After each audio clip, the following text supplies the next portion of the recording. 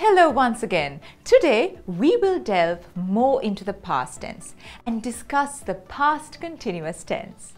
We have already learned about the simple past tense in lesson 12. So understanding the past continuous tense and when it can be used shouldn't be too difficult for you. Look at the definition given on page 12 in your pupil's book.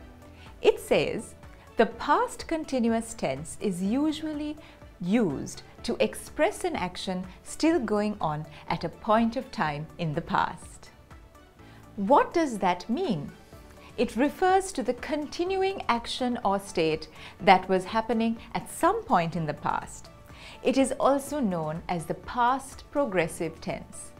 These actions in the past are continued for a short time after the action started. For example, I was jogging at the park when my mother called. Was jogging is in the past continuous and it is an action that would have taken place in the past over a certain period of time.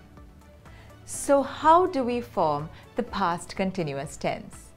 The past continuous is formed from the past tense of to be with the base of the main verb plus the ending ing form from the verb.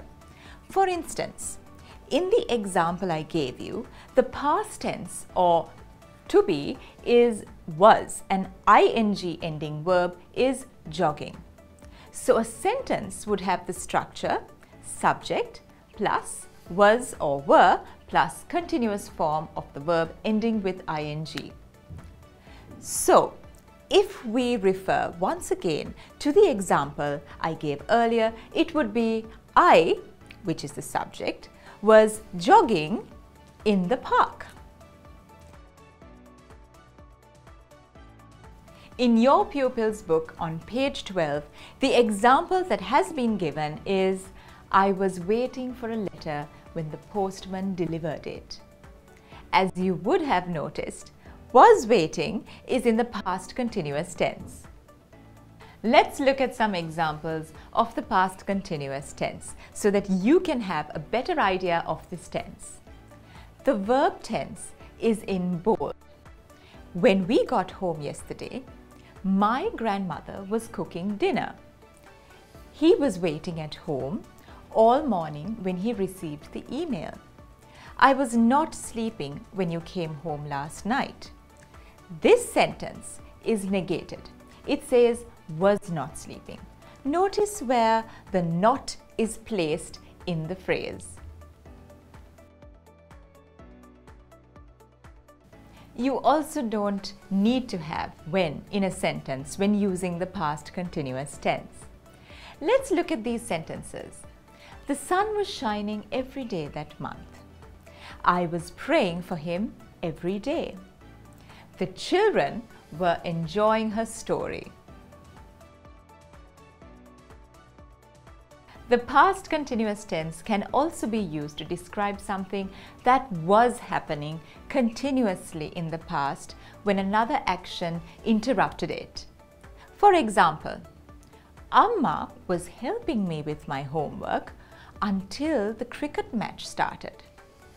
The past continuous tense can also tell us what actually took place at a precise time in the past. At 6 o'clock, I was eating dinner. You can also use the continuous tense to describe habitual actions in the past.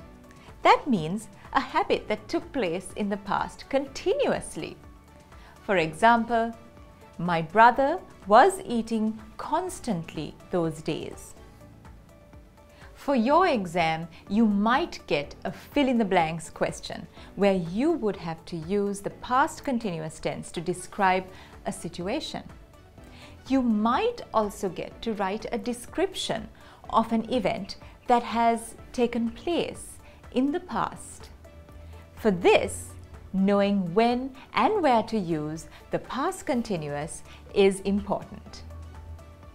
To wrap up our lesson today, let's do a quick fill in the blanks exercise. Let's do it together. Complete using the past simple or the past continuous of the verbs in brackets. Last year, my friend Ayumi and I went to Colombo. We decided to visit the Colombo Museum, but before going there, we stopped at the supermarket to buy some snacks. We saw lots of interesting things as we walked around. During lunchtime, we took out our snacks and looked for a suitable place to eat them. We found a place under a large tree outside. While we were sitting underneath the tree, we heard an unusual noise. We were opening our packets of chips when a squirrel pounced on us. It was shocking and we both froze. We certainly didn't expect that. After our brief snack, we hurried back into the museum. We were enjoying the artifacts when my mother called me on my phone and asked us to head back home. Both Ayumi and I reluctantly agreed and left the museum. As you can see, most of this description is written in the past. It is about a visit to the museum. Most of it is written in the simple past tense. In order to make the narration of this experience a little more unique, I have used the past continuous tense. The verbs that are in the past continuous have been highlighted. I hope you have a better understanding of the functions of the past continuous tense. If you like the lesson, please click on the subscribe button. See you next time for yet another engaging English language lesson. Have a fantastic day.